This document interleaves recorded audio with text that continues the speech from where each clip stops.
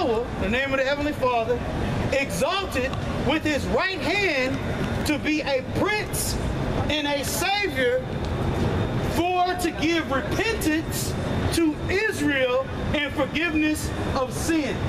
So that's talking about the nation of Israel. Okay? So who the world calls Jesus Christ, whose real name is Yahweh came for our people to give repentance of sin, uh, repentance unto Israel, so-called Negroes, Latinos, and Native Americans, okay, and forgiveness of sins. Okay? Because who were the law, statutes, and commandments given to? I'm asking you this question. The Israelites, beautiful. Okay, now the second message. Now the second, yeah, yeah, yeah, these are these are toss-ups. So the second message is for the other heathen nations. Okay. Now the message, the message for the other heathen nations. Which one do you want to hear? Uh, we can read Revelation uh, 13 and 9, or or uh, we can talk about how they're nothing. Isaiah 40. Yeah, yeah. Which is, we get both. All right, now check this out because we, we gave you one answer, which was Israelites on the first side. Now, everyone outside of number one, meaning 2 through 18, these are the other heathen nations, okay, that the Heavenly Father does not care about. Which is the reason why they're living luxuriously. They're living deliciously, okay? When you look across the globe, most of so-called Negroes, Latinos, and Native Americans are on the very lowest of the totem pole. But at the very highest, you have so-called white people, and then everyone else all the way down. They are profiting. They are, uh, uh, uh, they are being bountiful, okay, in this world, okay, according to prophecy only. Okay, what you got? This is Isaiah. And, and, and, and can I and can I say something real quick? If you notice, everyone else is kind of just kind of listening, but there's one person specifically that's trying to drive everyone away from listening. That's why Scripture says the earth is given into the hand of the wicked. That's why number two says white man out of one, Edom. Okay?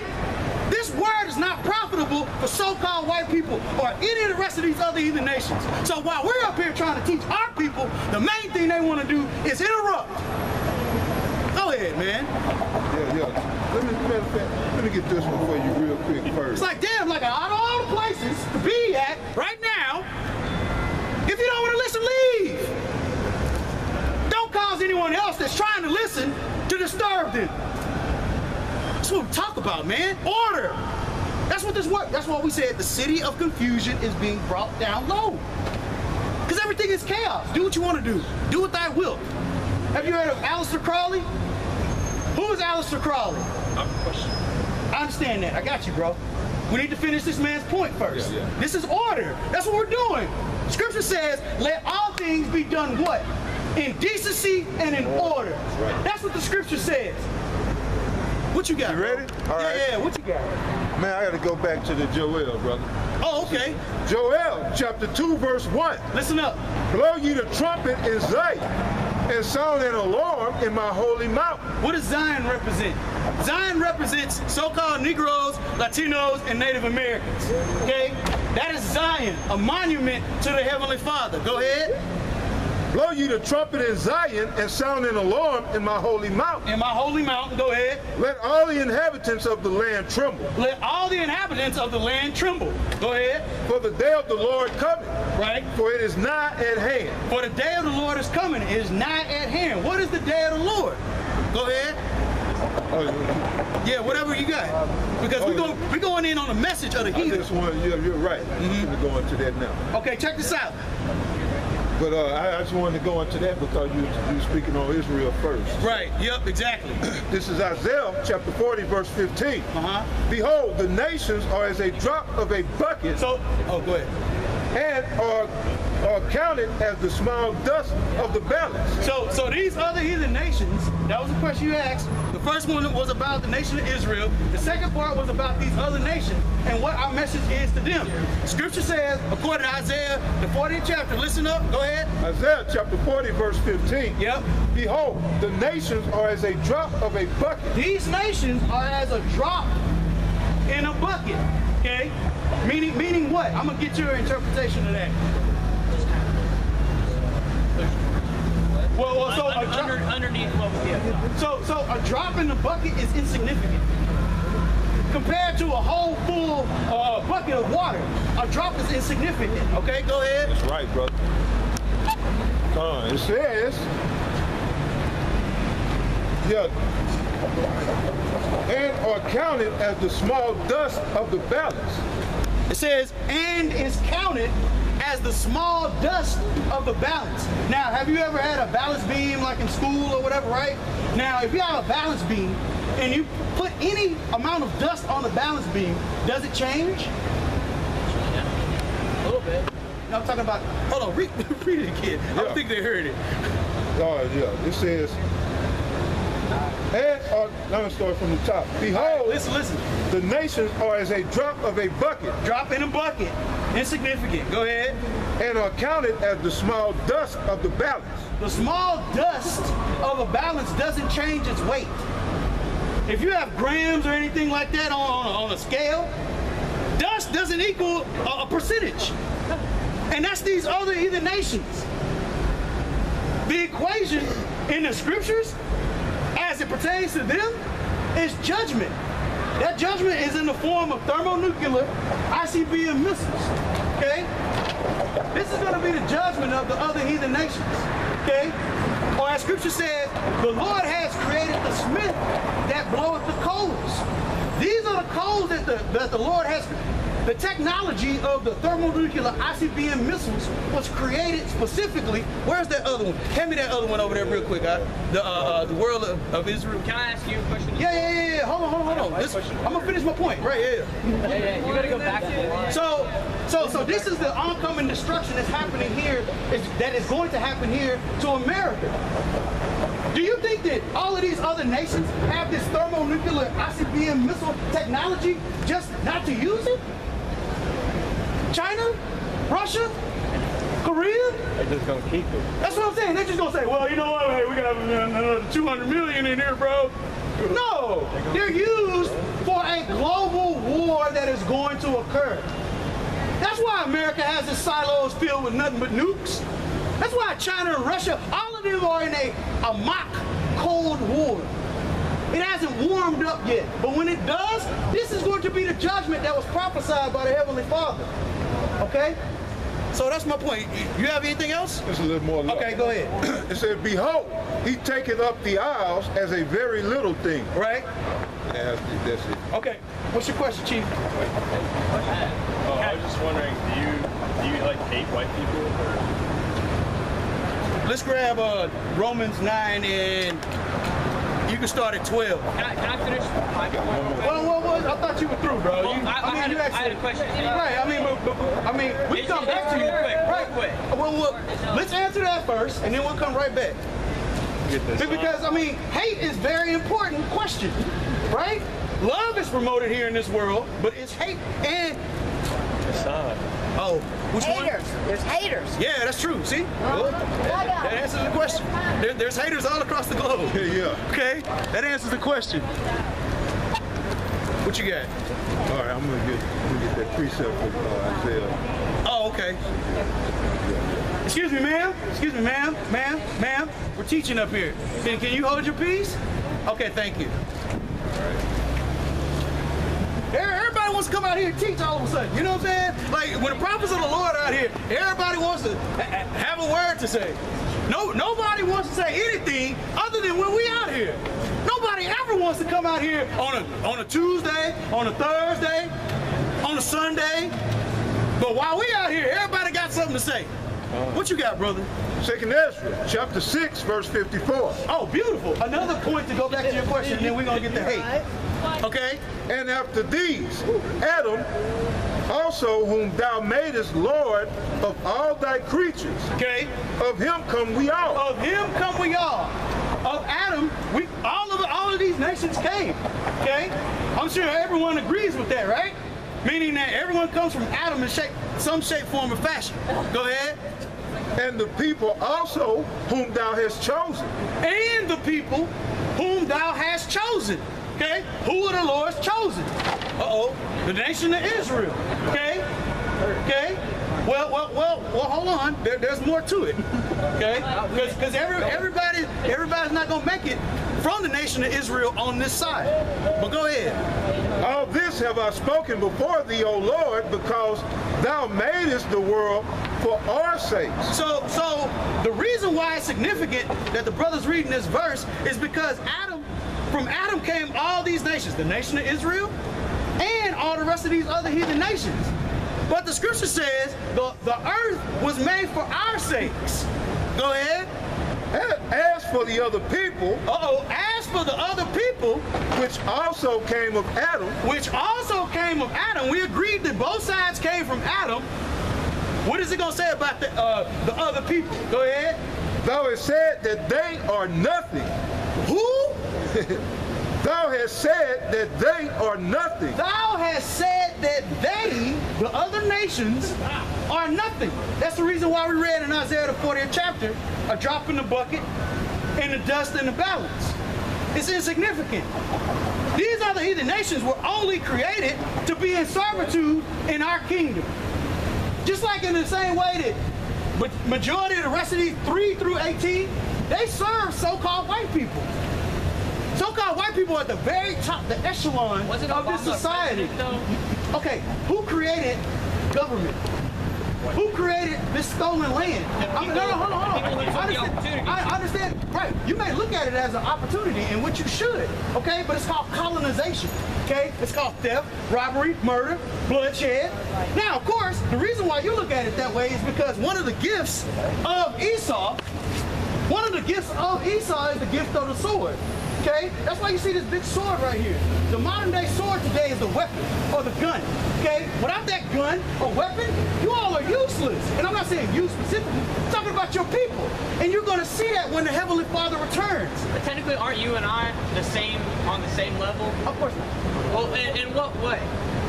First of all, let's start over. If we have the same opportunity. Hold on, stop, stop, stop. Decency and order. Let the man speak. Well, I know, I'm just so, trying to clarify So, so you can't you can't clarify for somebody else, bro. I'm telling you right now, the difference between us is we are the children of Israel. What the brother had just read in Second Ezra, sixth chapter, in the 56th verse. Okay, and you all are the other heathen nations, meaning we were created separately from the same source, which is spiritual. That two people can be born from the same womb and be completely different. Completely. If we go shoot basketball right now, whoop your ass. No offense. No, no, no offense. Why? Hold on, stop. it. Look. No, no, no. The reason why. I'm making this example is because Scripture says that we are the salt of the earth. When you think about food, Hey, when, no you think, pictures, when, man. when you think about food, when you No think about music, when you think about anything that's inventive, you think about our people. Okay? When you think about tortilla, I mean, all of this food and culture comes from us. Now, what culture do so-called white people have? It, it, No, no, no. One it person, could man. Hold on, one It person. could vary. 'Cause, I mean, I'm just saying, what is your culture? Wait, can we actually go play basketball then? can I Go interject? ahead. Go ahead. And, and like, in what context are you referring to? Culture. Culture. What is what is yours? Culture What is is yours specifically? That meaning that you did not steal and take from anyone else. What is your origin? What can you say that is supremely so-called white people's only? Not legit. We Exactly. Have, we have these same opportunity. Right here, bro. Right here, bro. But then I'm confused. That was on- it. No, no, that was the perfect No, answer. no, no. no. But listen, I'm Hey, confused he on, said saltine. on why. Oh, right, yeah. Fish and Right. chips. Yeah, yeah, no, think we have different levels here if It's you and I okay. are both given the same opportunity. Well, hold on. We're, we're talking spiritual. We're talking spiritual. So, so before the womb. That's why I want to hold it. Uh, Romans nine and, and thirteen. So, um, because we're gonna answer this question. Yes. Go ahead. But I still ain't finished. Oh, oh, oh, you, oh, you were still. No, you got some Salat, Salat. All right, it's some, it's some more on that some one. more, bro. Salakia, go ahead. Second Ezra chapter 6, verse 56. Okay. As for the other people, which Right. also came of Adam, As far as the, the other people that also came from Adam, go ahead. Though it said they are nothing, They are nothing. but be like unto spittle. Right. But be like unto spittle. And you, you all know what spittle is? Spittle is like when you're talking to somebody and that little bit of fragment that flies out that you barely see and you hope the other person didn't see. That's spittle. Right? So that's what the Lord is comparing all the rest of these other nations to. Spittle. It's like, oh, did I see that? Oh, no, I didn't see it. So it's where, insignificant. where where would you be able to to be able to to live? Hold on, hold on, hold on, hold on. Let's, let's finish this first and then we'll get back. Because I, I still got you. Hey, you guys are being patient, man. Hey, you see how things are done in decency and order, man. Go ahead. and has likened the abundance of them unto a drop that falleth from a vessel. So, if you're carrying a pail of water, right, and maybe you're taking it from point A to point B, maybe it's 20 miles, whatever. Are you concerned about that drop that fell out of the bucket on the on the on the floor? If you're carrying a whole pail of water, no, right? You're, you're concerned about the, the most that's in there. You're not concerned about the drop that fell. That's what the Lord is, is saying. These people are drops of a bucket, or drop out of a bucket. So, so we right. It is a lot of people. It is a lot of people. I'm so glad you said that, because two thirds of our own people, the Lord is going to kill. How about that? Meaning that even if you're on this side, You're not safe. yeah, right? Exactly. Exactly. So the point being here is this. Is there more on that? Yeah. Okay, all right. So I'm gonna make one more point. I'm gonna let the brother read. Two thirds of our own people are gonna die in this upcoming day of judgment. That means only one third of the whole population of the nation of Israel is gonna be saved. But nobody on this side from 2 through 18 will survive. Nobody. Go ahead. And now, O Lord, behold, these heathen which have ever been, yeah, which have ever been re- reputed as nothing, Uh-huh. have begun to be lords over us. Right, they began to be lords over us because through colonization, what we had talked about, the conquering of Alexander the Greek, the Romans, all of those colonizations, all the way up to this point now, okay, of the American quote unquote government, which is really a corporation, okay, they have become to be lords over us, the nation of Israel and to devour us. and to devour us, okay? Through all these wicked ass penal codes, through taxation, okay? Through pollution of the air, the water, the food. You're not eating real food. There was no such thing as GMOs, right? Non GMO food. 20 years ago, you didn't have that. Well, how is it that the food now has genetically modified organisms in it? Who put it in there? Who's responsible for that? Who put genetically modified organisms in all food? so do you hate us? Go ahead. Bro, we, But- we're going to get to that. Go ahead. But we, thy people, Listen. whom thou hast called thy firstborn, thy only begotten, Right, and thy fervent lover, right. uh, are given into their hands. So the Lord has one specific group of people that he loves, and the Lord has another group of people that he does not love. Okay? At all. This is the truth that you haven't heard before. Okay? That new song. That new song. What you got? This is Romans chapter 9, verse 13. All right, here's your answer, bro. You listening? This is one of your answers, okay? Because we had talked about what? The nation of Israel, and we had talked about the other nations. Now we're going to talk about Jacob and Esau, because both of those signify the two greatest nations on the face of this earth. I'm not talking about nation as far as a country or a continent. I'm talking about nations of people, okay? Go ahead. Romans chapter 9, verse 13. Uh-huh. As it, yeah, As it is written. Wait, where I'm at. Yeah, there we go. As it is written, Jacob have I loved, but Esau have I hated. Now, why is it significant that we're talking about Jacob and Esau? Because Esau is the progenitor of the so-called white people. Do you know what progenitor means? Okay, progenitor means that they, they started that lineage. Okay, that this is one of your forefathers. When you read Esau in the Bible, Esau is one of your forefathers. Cain is another one of your forefathers. So when it talks about Cain killed Abel, that is your lineage, so-called white people. But it said Jacob, you holding that still? It said Jacob. Now Jacob is the progenitor. Going back to that word, pro means before, gene means seed line, and to continue. Okay, the progenitor Jacob. Okay, the 12 tribes of Israel. It says that Jacob's name was turned to Israel after wrestling with an angel. Okay? Because basically he said, look, you're going to give me a blessing, okay? Um, and through that blessing, his name was turned to Israel. Now, what does the name Israel mean in Hebrew? Anybody want to take a wild guess? Plug it, No, plug it in. Okay.